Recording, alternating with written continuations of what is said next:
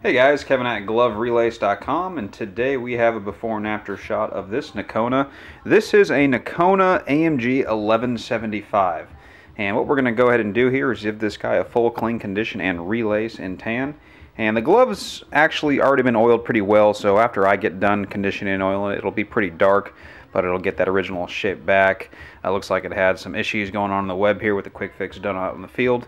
But uh, we're going to go ahead and take care of this customer and give this guy a full clean condition and relace and tan.